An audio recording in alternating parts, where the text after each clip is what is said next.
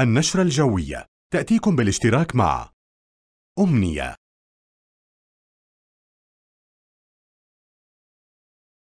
بنك الاتحاد. شكل مستقبلك. المناصير للزيوت والمحروقات. شركة بسطامي وصاحب وكلاء نيسان وإنفينيتي في الأردن. ليدرز سنتر. كريم هايبر ماركت. المهنية للاستثمارات العقارية. والسعودي وشركاه للتطوير العقاري. متابعينا الكرام في الأردن أسعد الله أوقاتكم بكل الخير إليكم نشرة الأحوال الجوية الأسبوعية لهذا الأسبوع الثاني من شهر آه، ستة شهر حزيران الذي يعتبر طبعا هو أول أشهر فصل الصيف من ناحية علم الأرصاد الجوية. بالرغم من دخولنا في فصل آه، إلا أن درجات الحرارة والأحوال الجوية السائدة في المملكة أقرب إلى الربيعية منها إلى الصيفية حيث أن درجات الحرارة في هذه الأيام هي أقل بكثير من المعتاد بل وأن الأجواء في ساعات الليل مائلة للبرودة. نتعرف في هذه النشرة الجوية الأسبوعية على آه، توقعات استمرار هذه الأجواء ومتى يتوقع أن تنحسر وتعود الأجواء الصيفية الإعتيادية مرة أخرى إلى المملكة. نبدأ هذه الطبقات بنهار يوم الأحد الذي تشير به الأجواء بأن كما نلاحظ درجات الحرارة هي درجات حرارة ربيعية فمثلا في العاصمة عمان 26 درجة مئوية في الشمال وإربد 28 في جبال أشراف 23 درجة مئوية في معان 32 في العقبة 34 درجة مئوية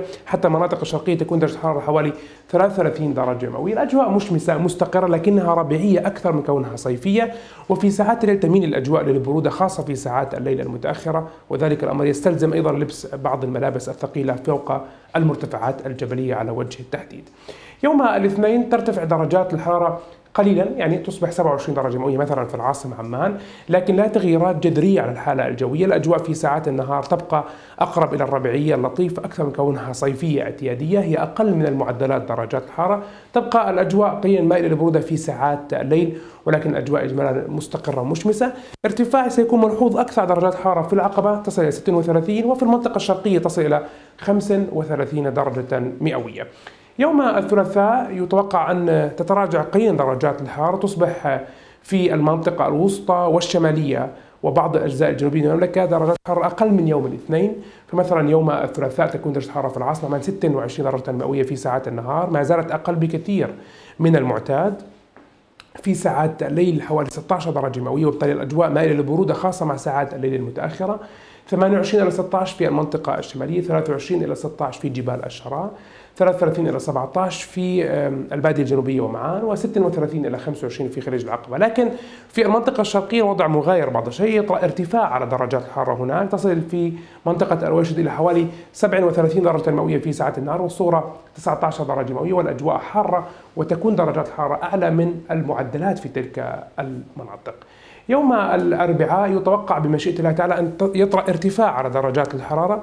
تقترب بعض الشيء درجات الحرارة من معدلاتها المعتادة. تصبح في العاصمة 28 درجة مئوية. في ساعات النهار تكون 30 درجة مئوية في إربد 26 درجة مئوية في جبال الشراء و32 درجة مئوية في معان و37 درجة مئوية في آه، آه، منطقة العقبة. لكن كمان نلاحظ أيضا في ساعات درجة الحرارة 21 درجة مئوية. بالتالي ليلا يتحسن الطقس بشكل ملحوظ يوم الأربعاء في أغلب مناطق المملكة وتصبح الأجواء مناسبة مثلا للجلسات الخارجية بعدما كانت الأجواء بعض الشيء مائلة للبرودة وتنشط سرعة الرياح في ساعات ما بعد الظهر بمشيئة الله تعالى.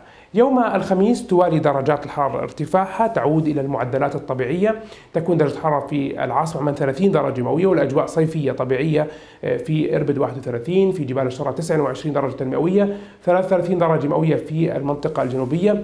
تتجاوز ال 40 درجة مئوية في آه، العقبة والأجواء تصبح هناك حارة إلى شديدة الحرارة وتكون 37 درجة مئوية في المنطقة الشرقية. تنشط الرياح الشمالية الغربية في ساعات ما بعد الظهر والمساء وتكون مثير الغبار في أغلب الطرق الصحراوية الشرقية من المملكة. نختم هذه التوقعات النشرة الجوية الأسبوعية بيوم الجمعة المتوقع أن تتراجع من جديد درجات الحارة. تصبح في عمان 28 29 في إربد. حتى ليلا تعود الأجواء تميل البرودة في ساعات الليل المتأخرة تكون 26 درجة مئوية في جبال الشراء 31 درجة مئوية في مدينة معان 39 درجة مئوية في العقبة وتكون 36 درجة مئوية في المنطقة الشرقية.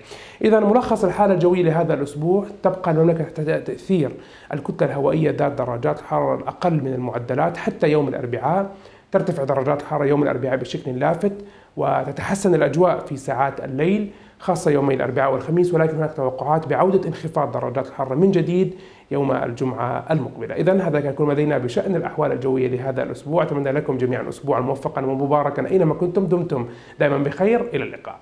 النشرة الجوية. تأتيكم بالاشتراك مع أمنية.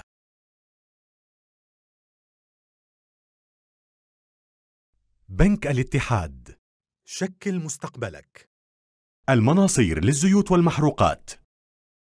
شركة بسطامي وصاحب وكلاء نيسان وإنفينيتي في الأردن. ليدرز سنتر كريم هايبر ماركت المهنية للاستثمارات العقارية والسعودي وشركاه للتطوير العقاري.